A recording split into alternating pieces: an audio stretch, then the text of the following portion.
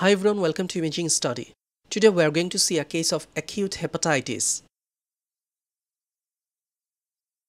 A 9-year-old girl came with fever, nausea and vomiting, right upper quadrant pain, yellowish discoloration of skin and sclera. As dengue fever is very common right now in Dhaka, the patient was checked for dengue fever but all the results gone negative for dengue. Let's see what we have got on ultrasound.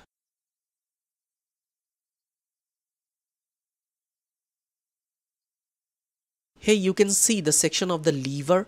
You can see the gallbladder also. The gallbladder is contracted but the wall is thickened and edematous. This is a very common finding in dengue fever as well as in acute hepatitis. If you look at the texture of the liver, it looks relatively darker. We'll try to compare it with the right kidney. But if you are familiar with the echotexture and echogenicity of the liver shown in your machine routinely, then you easily can understand the difference between the normal and abnormal. In my regular usage of machine, this appearance is obviously hypoechoic.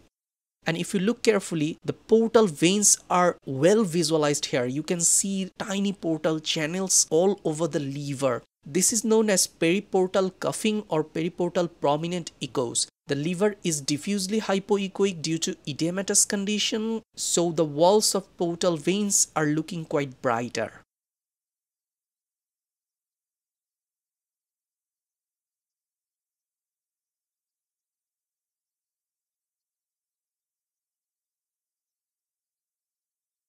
Here is a magnified view and you can see the gallbladder wall looks thickened and edematous. And if you look carefully, you can see tiny hypoechoic structures at the porta hepatis region. These are subcentimetric lymph nodes at the porta hepatis region, which might be seen also in acute hepatitis.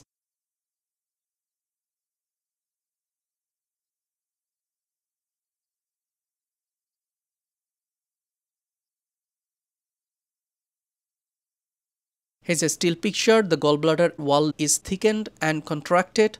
The wall thickness is around 7.6 millimeter.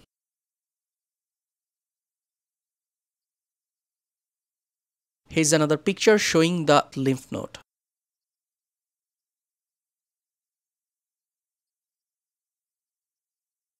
Now here we try to measure the liver no matter how you measure the liver, this liver is enlarged for this age and body status of the patient. It measures around 12 centimeter. If you compare the echogenicity of the liver with the right kidney here, it looks quite similar, but if you magnify the image a little bit, then you may differentiate it to be a hypoechoic liver. Here's another picture of the pancreas and the liver. The diffuse periportal cuffing makes it to be an appearance of starry sky. So we also call it a starry sky appearance. Here you can see the spleen of this patient which shows 9.7 centimeter in length which is also mildly enlarged comparing the age and height of the patient. So in summary, we have found mild hepatosplenomegaly the hepatic parenchyma is diffusely hypoechoic. Portal triads appear markedly echogenic against the hypoechoic background liver, forming the typical starry sky appearance. There is thickened and edematous gallbladder wall, and we have seen some subcentimetric lymph nodes at the porta hepatis. So these features concluded to be a case of acute hepatitis.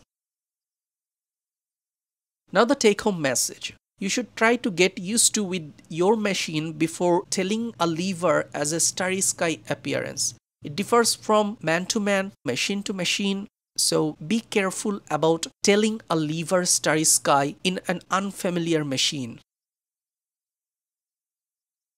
Thank you for watching this video. Don't forget to subscribe our YouTube channel and try to follow us on other social platforms. See you on the next one. Have a nice day.